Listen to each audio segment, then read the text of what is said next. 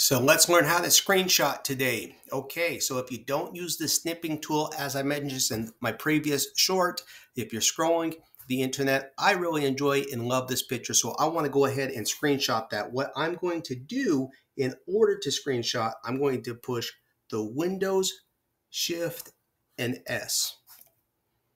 And that will pop this icon up here. And I can go ahead and even crop out what I like the screenshot. Maybe I just want the picture or maybe I even want some of the other stuff that's relevant, okay? So again, to screenshot, you're going to hold the Windows, Shift, and S, like Sam. Hope that helps.